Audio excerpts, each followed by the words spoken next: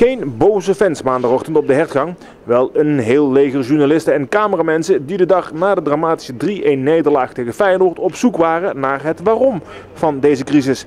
Meer dan wat supporters en wat voetbalverslaggevers kregen ze echter niet te spreken. De hoofdrolspelers van het drama in de Kuip maakten een bosloop. De reserves stonden wel op het veld. Het ED stuurde vier PSV-watchers uit het verleden en heden naar de hertgang om de ergste crisis in 40 jaar te duiden. Hoe ernstig is het? Het is ernstig. Ja, meer niet. Dat heb je goed geconstateerd. Nou, ze hebben wel een, ze hebben wel een probleem op het moment. Nou, de situatie is ernstig. Dit heb ik nog nooit meegemaakt natuurlijk.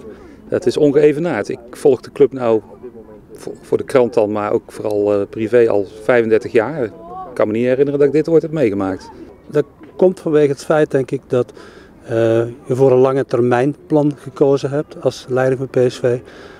En kan niet in het voetbal, volgens mij. Het telt alleen de korte termijn. Je kunt, je kunt op papier zeggen, aan het begin van het seizoen zeggen van nou, dit gaan we doen, dit, wordt, dit is ons plan. En iedereen zegt ja. Maar, uh, en iedereen vindt dat prachtig, dat de jeugd de kans krijgt. Maar zodra er donderwolken komen, gaat iedereen die mening verlaten en gaat iedereen toch weer met de korte termijn aan de haal. En zul je op een gegeven moment moeten komen met een oplossing. Want uh, ja, dit, dit kan natuurlijk niet voortduren. Waar ligt het aan? Ja, ik denk een complex van factoren. De, de onervarenheid van de ploeg. Ik denk ook misschien wat, uh, ook wat tactische keuzes. Uh, misschien die zijn uitgebleven. Bijvoorbeeld de keuze voor een spits. Er wordt, is toch wel regelmatig in het systeem geschoven. Keuze voor een rechtsback geeft misschien ook wat uh, onzekerheid steeds. Uh, keuze voor een systeem. Er wordt steeds met wisselende middenvelden en wisselende aanvallen gespeeld. En dat in combinatie met de ervaring van, van een ploeg die, die bijna nihil is. Ja, dan, dan maak je er één, ja, grote soep van eigenlijk. waardoor het gewoon niet, niet draait. Ik denk dat er voor dit seizoen toch een aantal inschattingsfouten zijn gemaakt. En dat de, ja, de, de daverende, daverende seizoenstart van PSV, dat die achteraf bezien eigenlijk nog heel erg is geweest, ook voor de club. Op dat moment is er een verwachtingspatroon ontstaan wat denk ik niet, niet realistisch was. Nou ja, en nu zie je wat, wat er is gebeurd.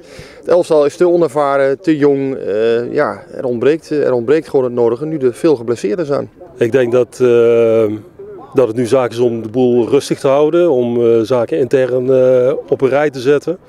En uh, te zorgen dat ze zo ongeschonden mogelijk de winterstop halen, voor zover dat nog mogelijk is. En dat het dan zaak is om, om de boel op een rij te zetten en een goede tweede helft te beginnen. Ik denk dat er alle mogelijkheden voor zijn. In het begin van het seizoen hebben we gezien dat het, een, dat het elftal prima kan voetballen. En dat het, dat het behoorlijk, behoorlijk kan klikken. Dus uh, ja, laten we hopen dat Cocu de boel op de rails krijgt. Waar, waar ligt voor jou de oplossing? De oplossing ligt op de eerste plaats om Cocu zijn werk te blijven laten doen. Het heeft totaal geen zin om nu een nieuwe staf aan te stellen. Um, nou, je kunt stellen, um, haal ik enkele versterkingen in de winterstop. Ik weet niet of dat veel effect gaat helpen, uh, hebben. Uh, die jongens, daar kun je ook niet van verlangen dat ze in, in, in, in amper drie, vier maanden resterende competitie die hele zaak weer, uh, weer op de rails krijgen. Dus ik denk dat je dit jaar gewoon uit moet zieken en volgend jaar opnieuw beginnen. Is er uh, ja, licht aan het einde van de tunnel? Ik heb eigenlijk geen idee. Ik moet zeggen, ja, dit is ongeëvenaard. De tiende plaats. Ik zie zelf ook weinig, weinig verbeteringen. Ik, ik denk niet dat veel ploegen op dit moment tegen PSV spelen met het idee van uh, jongens, uh, alle hens aan dek. Ik denk dat ze hun kansen ruiken en, en, ook op de zwakheden van PSV gaan inspelen. Dus ik zie niet in waarom het nou in één keer vanaf uh, zaterdag veel beter zou gaan. Het zou goed zijn om, om versterking te halen, want, want je ziet toch dat zo hier en daar in het elftal ervaring tekort schiet. Um, als je doelt op Cocu, denk ik dat Cocu gewoon moet blijven. Die man die heeft uh, waanzinnig veel uh, voetbalervaring. En uh, laat hem in godsnaam hier leren om ook goede trainer te worden. Want dat heeft hij absoluut in zich. Wat moet er gebeuren om PSV op de rit te krijgen?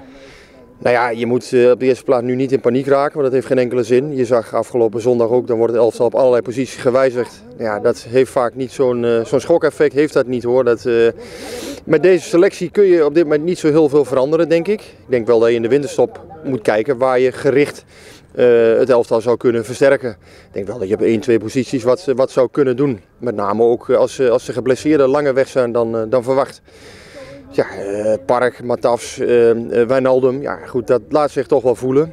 Maar dat is niet het enige. Het is ook zo dat PSV denk ik voor de, wind, of, voor de winterstop, ja wat ik zei, een aantal fouten heeft gemaakt. En, en als je met zo'n jong elftal de competitie ingaat, dan kan dit gebeuren.